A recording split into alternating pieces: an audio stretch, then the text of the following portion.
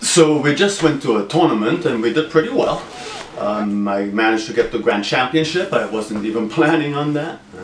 Uh, and my son Randy Perez uh, managed to get first place in uh, Kenpo forms. And, but what's even more impressive to me is the fact that Randy was able to fight the Grand Championship, the defending Grand Champion from last year, who again won the Grand Championship this year.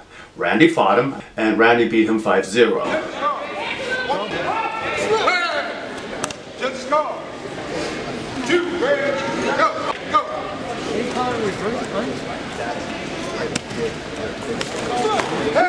Nice kick.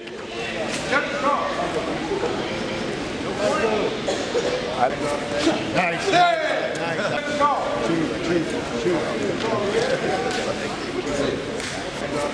Nice. Nice. Nice. Nice. What I wanted to accomplish with my competition, all I did this time around was self-defense techniques. Um, and I I had a pretty good feeling I might place first in self-defense techniques. I did not think that I was also able to uh, take home a grand championship with that, right? Um, so great.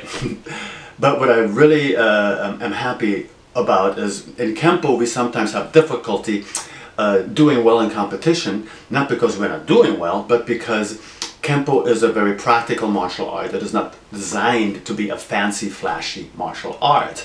So often in competition, that puts us a little bit at a disadvantage if somebody else does something more acrobatic, more acrobatic, sorry, or more fancy, right? Uh, we don't do that. We don't usually do theatrics all that much. We do practicality. And that can be much more difficult to win with in a tournament. Right? So whenever we do something that's authentic and we win in a tournament, we're very happy with that. all right. So here's my self-defense routine. And uh, what, what I'm really happy about is I wanted to see if it was possible to compete with Ed Parker techniques without changing them. So I started with circling fans and I didn't even do all of circling fans. Right? And I then went into attacking mace and I just added two strikes to attacking mace. It's a palm strike, thrusting heel palm, and a front kick. It's not very much to add, right? And then I did a thrusting lance against a knife. Um, and I didn't even do the whole technique. I did about half of it, right?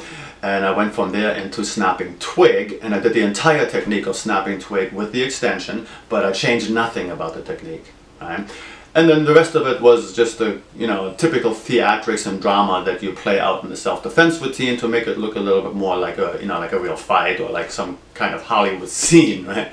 So, um, uh, that's all I got for today. I'm going to show you a couple of clips. I hope you enjoy them. And I thank Anton Pointer for putting on this tournament. He was pretty humble. He doesn't even write how many years he's been at it. Uh, since I've lived here in the Valley, which has been a long, long time here in California, Anton has put on tournament after tournament every year. He's originally from down south and he used to uh, compete at the internationals just like we did. Um, so that's one of the reasons why I support him. So I hope you're to like this video and uh, I hope this might inspire you to also put some Kenpo out and it's not really about winning, it's about putting the Kenpo out there and showing the world that Kenpo is a very good martial art. And I hope that we accomplish that. Alright, thank you very much everybody and have a nice day.